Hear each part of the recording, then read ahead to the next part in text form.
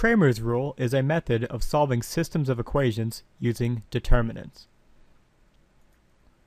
Let's say we have a system of equations in the following format.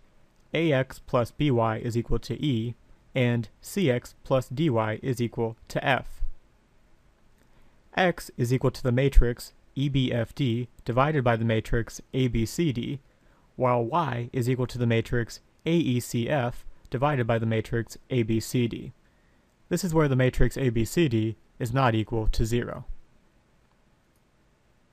Here, let's try an example. We have two equations, 2x plus 4y equals 8, and 3x plus 5y equals 11. Here we have a, b, c, d, e, and f values that can be plugged into the matrices to solve for x and y. x has the matrix 8, 4, 11, 5 divided by the matrix 2, 4, 3, 5, while y is equal to the matrix 2, 8, 3, 11 divided by the matrix 2, 4, 3, 5. So, x is equal to 8 times 5 minus 11 times 4 divided by 2 times 5 minus 3 times 4, and y is equal to 2 times 11 minus 3 times 8 divided by 2 times 5 minus 3 times 4.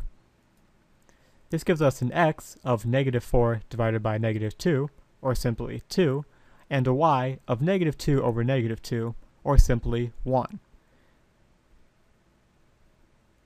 So our solution, x equals 2 and y equals 1, that ordered pair is a solution to our system of equations that we found using Cramer's rule.